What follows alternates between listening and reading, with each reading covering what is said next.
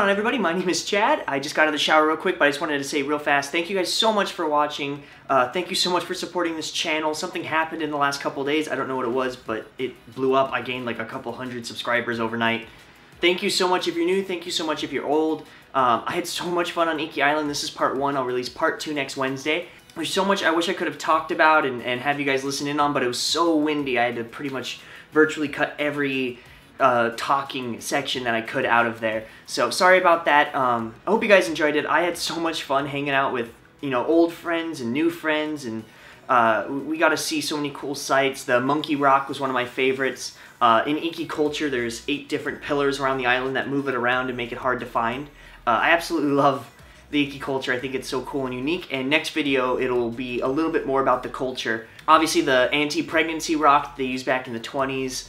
Uh, we went to a gun battalion that was really pretty. We had shabu shabu with a whole bunch of locals, like oh, like so much we couldn't eat it all. I won a giveaway contest. I also met a whole bunch of really drunk local fishermen who were enjoying their Golden Week and who kind of dragged me into their hut and I basically spent the night with a whole bunch of strangers out in the middle of the forest. It is such a cool experience and I'm so lucky I got to go. I can't wait for you guys to see part two. It's going to be even cooler. The second day was insane and I have such beautiful, pretty shots because it wasn't nearly as windy or rainy. So uh, be looking forward to that. If you guys like this video, be sure to actually press the button, do the effort, like it down below. It helps more people find my videos and it helps me grow tremendously. And if you guys actually did like this video, I encourage you to check out my other Wednesday videos. They're all about Japan, Japanese culture, Japanese language tips, tricks, I don't know, hugs, lots of different things. If that's something that you guys are interested in, uh, please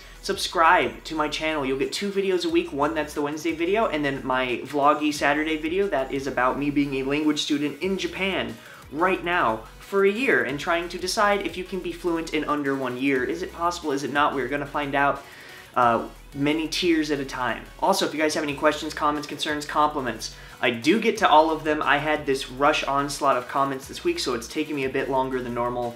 Um, but I do always respond, especially if you guys have any questions. Also, regarding the live stream, uh, I'm going to put it on hold again for a week. I'm so sorry, guys.